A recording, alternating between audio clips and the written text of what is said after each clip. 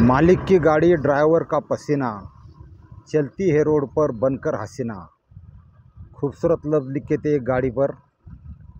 और ये मुंबई के ठाणे की गाड़ी है। ले ले ओल्ड पासिंग गाड़ी। दस चक्का है। आर पी पकड़ के निकली अच्छे तरीके से।